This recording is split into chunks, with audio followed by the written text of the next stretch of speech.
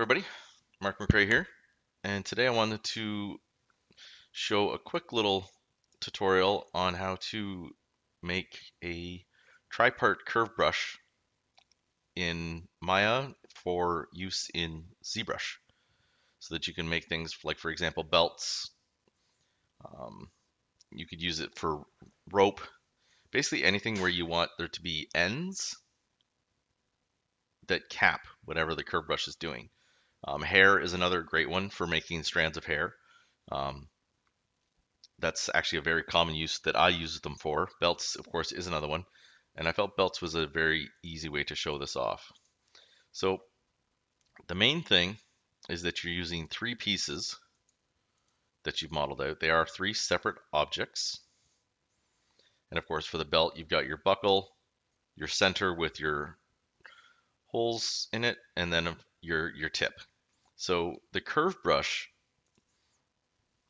in ZBrush, once we pull this in, is going to keep one instance of this and one instance of this. And this middle piece will be what it duplicates over and over, knowing that the ends are basically your caps. So for example, rope, if you wanted to have nice, you know, either frayed edges, frayed ends on it or capped ends are good examples. Um, you can make multiple different belts, of course, um, I can't uh, hair if you want to have you know different types of curls or ends on your hair strands. I can't think of all the different ways. There's so many different ways. Chains. Think of all the different curve brushes you could do. Um, so the important things here are that you have three pieces and that all three are modular. They need to have topology that runs through. So what I would typically suggest is model it as one piece and then split it into three uh, using the, your multi-cut and extract tools. So I put this together. This is actually taken from another project and then I just modified it, cut it up for use here. But that is the base object in Maya once you get whatever it is you want created. And then you export that, and then we're going to take that into ZBrush and do what the real work is. Okay, so here we are in ZBrush. We've got all three pieces. Let's turn on our poly line fill. And if we click on each, you can see that they do currently have all different polygroups. You, that is very important. Double check that. If they do not have different polygroup colors, you want to make sure that they do. And then just grab and merge them down into one tool with that polygroup.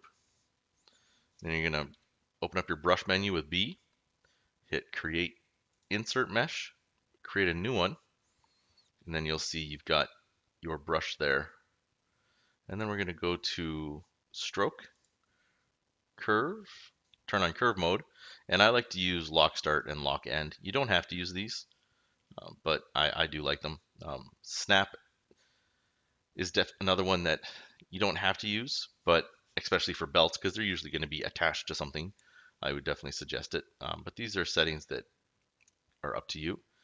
And then also, what we want to do is go into modifiers, make sure triparts is turned on, because that's what tells it that we want to duplicate this middle piece and cap off the ends. And then also super important is weld points and stretch, and then a little bit of curve resolution.